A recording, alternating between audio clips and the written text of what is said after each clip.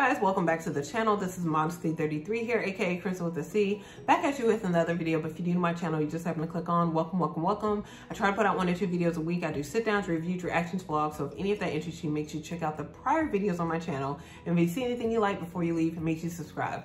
So today, you guys, I've just been filming like a few different videos. So if you're seeing the same outfit, the same get up, that's why, because um, whenever I do go out and if I have the time, I try to film like whatever videos that are kind of pending on my agenda. So yeah, like kind of like a lot of my items have hit like the one, two, three year mark even coming up on four. So I wanted to really do a review, um, get kind of some of these reviews out and pumping so you guys can kind of see how these different items hold up over time. And this video is no exception. I'm gonna be doing a one year review on my Apple iPad mini.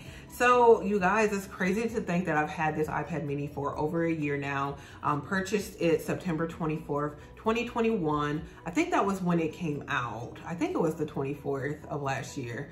But um, yeah, I was back and forth hemming and hawing about this particular item because I had a previous iPad. I had the iPad Generation 3 yeah, that's old, I know. Um, I bought that one back in 2012 and I hadn't used that iPad in years. So I had pretty much told myself that I just was not an iPad person. So um, I was using my phone pretty much for everything. And then Apple had their event. I, I looked at the event and um, just to see what kind of, I was curious to see what new products were gonna be coming out. I think at the time I was interested in buying an Apple Watch Series 7 because I wanted to buy an Apple Watch for a while. So I watched that event and um, I think that event they did talk about the Apple Watch if I'm not mistaken. Maybe they didn't. But um, yeah, like I happened to see them talking about the redesigned iPad mini and it caught me, you guys. I caught the Apple bug. I blame this product. It, it got me started with the Apple bug. Um, and especially because like they, you know, released the different colors with the iPad mini and they talked about the purple, which purple is my favorite color if you don't know. So yeah, they be catching me with the, the colored items. And so yeah, they caught me with the purple for the iPad mini. Um, I've always heard good things about the iPad mini, but I just, like I said, I just haven't been an iPad person. I've had my iPad, I still have my iPad generation three. It still works Um, I mean, the screen works. There's no cracks or anything in it. It's just very slow.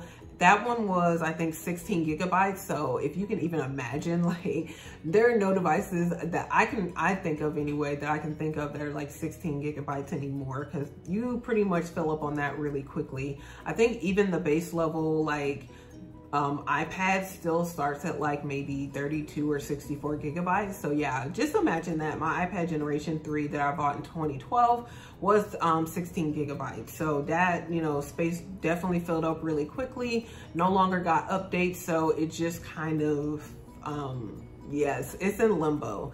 Um, so yeah, like I was not in the market for a new iPad, but I did see the announcement. Um, and I convinced myself I, I, I needed an iPad. So um, I ended up, yeah, purchasing this. I didn't pre-order this, but I did purchase it on the day that it came out. Went a little far, far out from where I live to pick it up. And um, I've been using it since, you guys. Um, as far as the frequency with which I use the iPad mini and what I use it for, let's get into that. So frequency really varies and depends because I do have another iPad that I will be talking about as well, which is the um, iPad Pro. I did purchase that one after purchasing this one. Um, and um, yeah, so I really was using this one like pretty much every single day when I first got it. Um, pretty much what I wanted to use this particular iPad for was editing vid videos as well as content consumption because I was doing everything on my phone and it has led to a lot of um, battery degradation on my iPhone 12 Pro Max. Uh, just because like, again, you know, doing everything on one device, you do overly tax that device. So yeah, my phone has had a lot of battery degradation, especially too, because I do film on my phone um, in the past two years of me owning it. Uh, so I did want to get another device to maybe share some of the load. Um, you know, part of the load being the editing of my videos. So I do edit everything on my iPad mini um, which you guys have seen my videos and kind of the quality. So, um, I don't do a whole lot of editing. Um, you know, just kind of inserting certain things here and there. Uh, so yeah. Um, a lot of my editing is done on iMovie. So yeah, I do that on here. I do like having a bigger screen to do that, a little bit more flexibility. Um, I do have my Apple Pencil uh, Generation 2 with it as well, which I did not think I would really use this Apple Pencil as much as I do. I use this pretty much um, every time I do use my iPad mini or my iPad Pro, just because it's just really easy to write out notes and different things like that with the Apple Pencil. So I would highly recommend the Apple Pencil Generation 2. I definitely was not a Apple Pencil iPad person and I have definitely become one in the past year given these two, you know, items. So with the iPad mini, I do edit videos on here. So I do use my Apple Pencil for that. Also, um, I will take this to church with me and you do have the option of like the side view. So on one side of the screen, I can have my Bible pulled up um, on the Bible app. And then on the other side, I have my notes app pulled up where I can write notes, again, using my Apple Pencil. So um, that's the primary uses for my iPad mini now. Since I got my iPad Pro, um, I typically will use my iPad Pro for content consumption because the speakers are better and the picture is better with the 120 gigahertz refresh rate. So it's just a smoother experience on the iPad Pro. Um, not to take away anything from the mini, but I do have visual issues and deficits. So that's why I have the iPhone 12 Pro Max. That's why I do have devices with bigger screens because I don't have to strain my eyes as much, um, you know, with a smaller device. Um, and I just tend to like bigger devices anyway. I don't know what it is. I'm, I'm just a weirdo like that. So um, I like the iPad mini for the convenience of it. It does fit in a lot of my handbags, but I do love the iPad Pro just when I'm at home on a daily basis for content consumption, um, even for um, digital planning, all of that I do on my iPad Pro.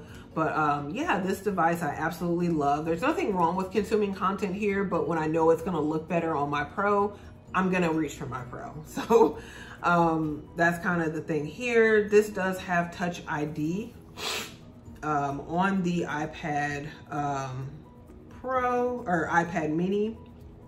iPad Pro, I use Face ID. So this is kind of like the setup of my apps and all the things right now.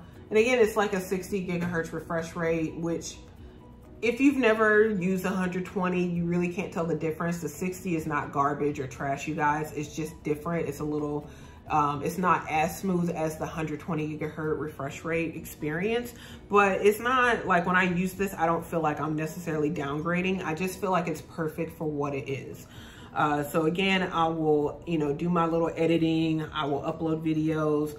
I'll view some content on here, but mostly again, I'm writing notes. Like um, I've used this for grocery shopping in the past before as well. I can, you know, use my little Apple pencil. I can write down my list. I can check off things while I'm in the store. So yeah, I'm a little bougie like that. I'm, I'm not gonna lie. Like I, I've elevated from the paper and pencil, um, you know, grocery list to now I put my grocery list on the iPad mini. Not exclusively, sometimes I will still do paper and pencil, but um, a lot of times, yeah, I'll do a grocery list on here. It is more sustainable. I mean, let's be honest.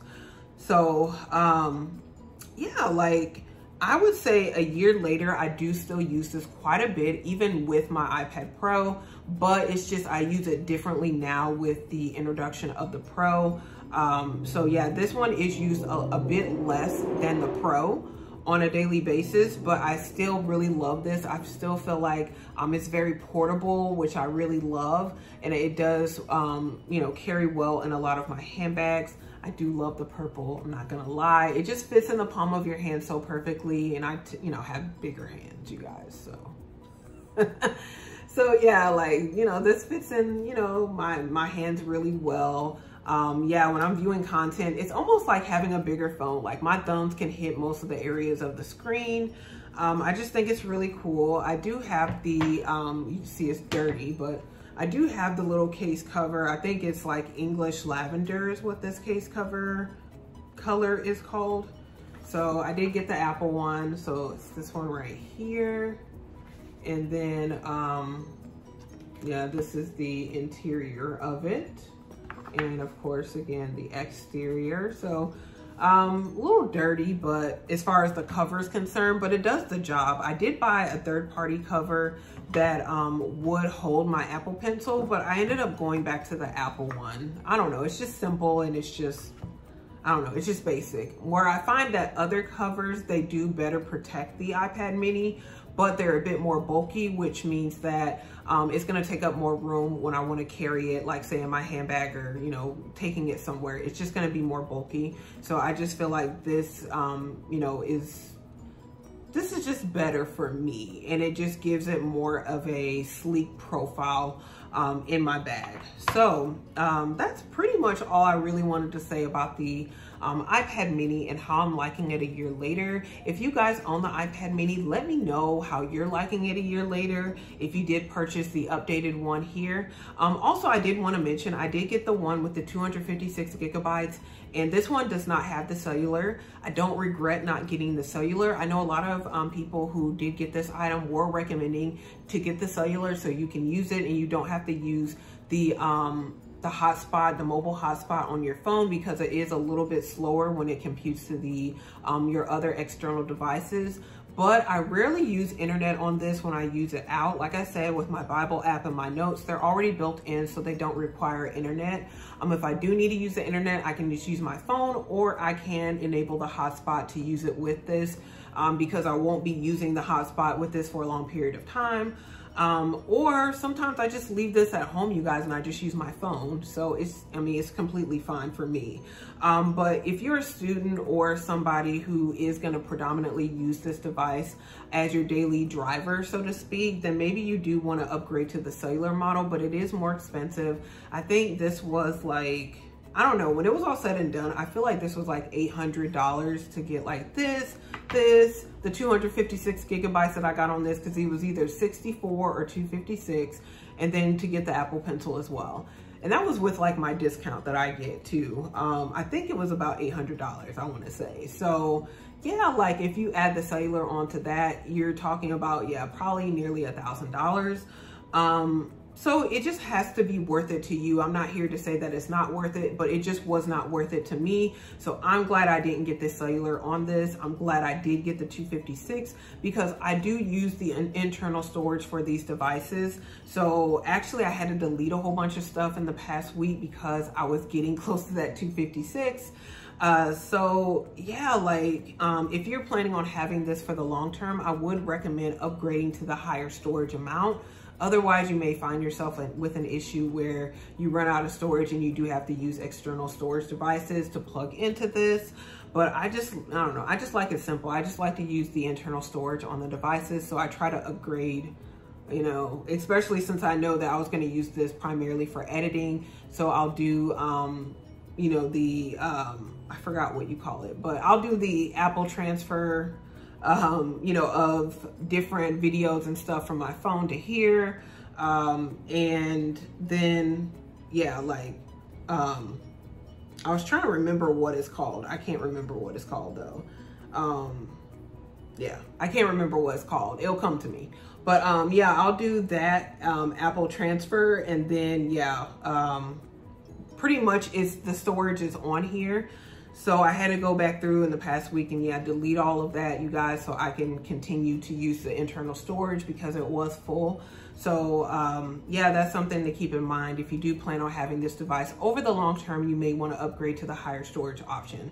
So that's pretty much it, you guys, that I wanted to say for real this time. But if you have any questions, comment below. Um, let me know how your iPad mini has been working for you. If you still own it, did you sell it? Um, you know, have you um, been getting a lot of use out of it? Let me know below, comment. Um, also, if you like this video, make sure you give it a thumbs up. Also, make sure before you leave, you do subscribe to the channel. You do that by hitting the red button below and hitting the bell next to it so you're notified when I upload future videos. And don't forget to share this video with your friends and family as well.